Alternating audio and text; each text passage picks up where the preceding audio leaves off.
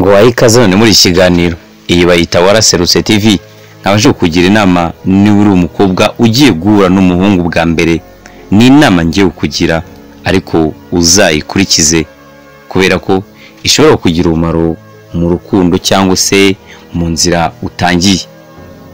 Niba ugiye guhura n'umuhungu bwa mbere ugomba kwirinda ibi bintu uko ari birindwi ngiye kukubwira ibyo wakitondera ugiye guhura n'umuhungu bwa mbere. Ese umuntu duhuye bwa mbere nabasha kumushima nkamugira inshuti? Ni iki gishobora gutuma utishimira umuntu muhuye bwa mbere? Niba uri niba umuhungu cyangwa se umukobwa bagiye guhura bwa mbere hari ibintu bagomba kwitondera kugira ngo ibiganiro byabo bigere neza ndetse niba ngombwa bakomezanye no mu munyenga w'urukundo mu buryo bwiza. Dore rero ibyo ugomba kwirinda.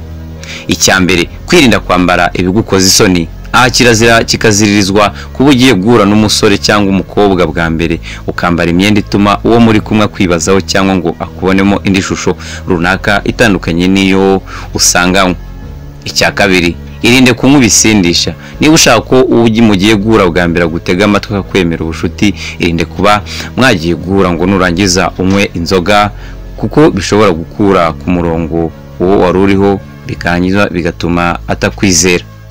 Icya gatatu irinde kuvuga ku byerekeranye uwo mwakundanaga. Umukobwa cyangwa umusore ugiye guteta si byiza ko aterura ikiganiro ku bahoze bakundana kuko ashobora gutekereza ko ari wari ufite ibitekerezo bityo we akaba ari ukumutesha umwanya akaba agucishamo ijisho. Icya kane gerageza ntiwinjire mu buzima bwe bwite musore cyangwa mukobwa ntukihutire kwinjira mu buzima bwe bw'uwo ugiye guhura nawe bwa mbere kuko bituma agufata nk'umuntu uhubuka cyangwa ufite izindi nyungu runaka ushaka bigatuma agutakariza icyizere. Icya gatanu irinde kuvuga ibyerekeye imibonano abantu bagiye guhura bwa mbere by'umwihariko bagamije gutsura umubano wihariye si byiza ko uhingutse amagambo yerekeye imibonano mpuzabitsina kuko azagufata nk'umuntu utagenzwa na kamwe.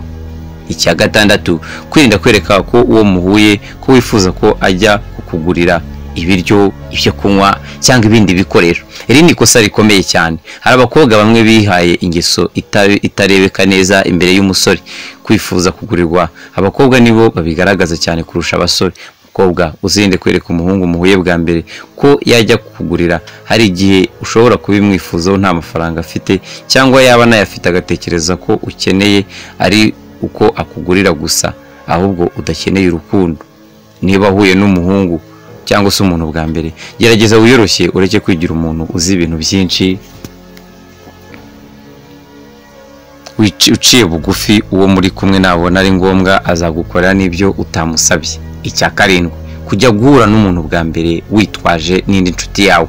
Iki ni ikintu kitari cyiza na gatoya. Niba ugiye guhura n'umuntu bwa mbere si ngombwa kwitwaza undi muntu ubaye utari wanamenyana n'uwo muntu neza. Warangiza ukakurikiza indi nshuti yawe. Ese ubwo uwo muntu mugiye kureba mushoreranye yamenya ababwira iki? Hari igihe rero yari agukeneyeho ariko yabona ari kumwe n'undi waje aguherekeje akabireka imico y'abantu iratandukanye ushobora kugenda n'umuntu udafite imico myiza akaba yatuma n'uwo mugiye kureba agushyira mu gatebo kamwe nawe cyangwa akagufata nk'uwo muntu. Ikindi kandi ushobora kugenda ufite imico mibi wowe yamara kukubona akaba n'uwo mwari muri kumwe n'ahantu muhuriye. Bikarangira amwitwariye. Ngayo nguko ibi bintu rero uzabyirinde mukobwa? Niba ugiye guhura n'umuhungu bwa mbere nawe niba uri umuhungu ukaba ugiye guhura n'umukobwa bwa mbere ibintu nkubwiye ko ari birindwi uzabizirikane. Ndagushimira. Kandi nkwibutsa gukora subscribe. Imana ibarinde.